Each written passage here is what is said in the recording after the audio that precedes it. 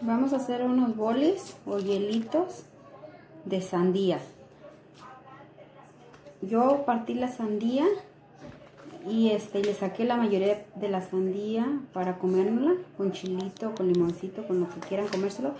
Y toda la que sobré le raspé y le raspé y hice esto. Una agüita de sandía, pero de la misma sandía. No le puse nada más, miren. No se alcanzan a ver. Oh, se cayó poquita, miren con pedacitos de sandía y este hice estos boles. Con estas bolsitas. Miren le puse azúcar la hice dulcecita porque ya cuando cuando la haces este cuando la metes al refri ya se hace simple así es que la hice un poquito dulcecita hice esto así unos boles de sandía pero de pura sandía nada más no le puse más que pura azúcar bien. Las amarras. Y tenemos unos ricos boles de sandía.